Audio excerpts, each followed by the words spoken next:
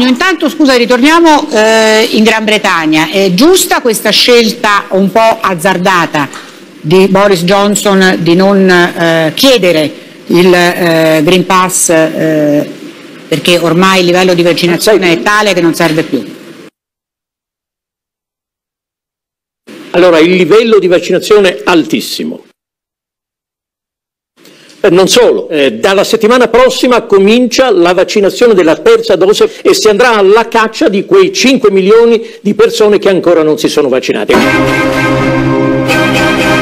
Ovviamente non è una coincidenza che i bersagli rappresentino persone che ancora non si sono vaccinate.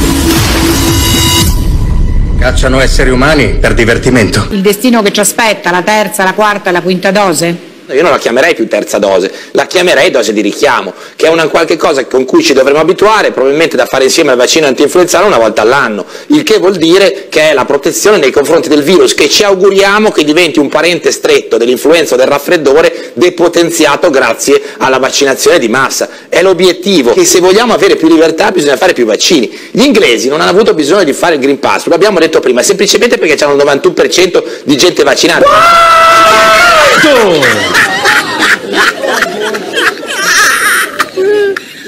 Se avessimo in Italia il 91%.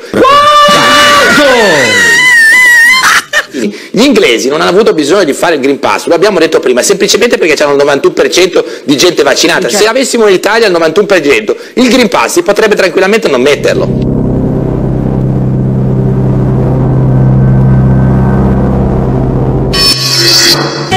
Questa è Londra, Inghilterra, il paese che ha praticamente rimosso tutte le misure anti-Covid, il paese che non vuole il Green Pass. Non penso che si possa realizzare in questo paese perché qui non si vuole discriminare nessuno. Molte persone lo considererebbero un affronto alla libertà. Think, che cosa pensa del Green Pass? Penso sia pericoloso, può creare un falso senso di sicurezza. Qua praticamente si è tornati esattamente a prima della pandemia.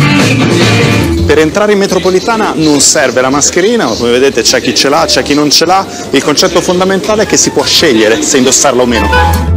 E voi direte, beh, ma la copertura vaccinale sarà altissima. Se tu consideri la, tutta la popolazione è intorno al 66%. Più bassa che in Italia. E allora voi direte, beh, ma forse è il virus che circola poco. Siamo intorno ai 35.000 casi al giorno.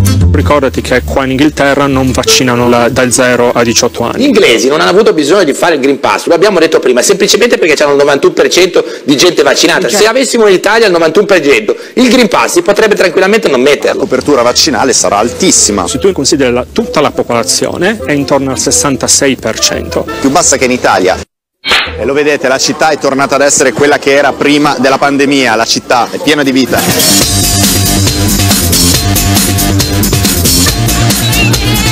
Una delle discoteche più famose di Londra stasera c'è un evento in cui sono attese molte persone.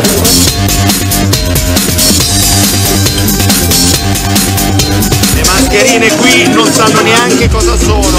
E questo è quello che propone la TV, numeri sparati, come abbiamo sentito, smentiti la sera prima dall'altro servizio fatto direttamente in Inghilterra. Benvenuti a Vero Giornale, il TG di Federazione Rinascimento Italia.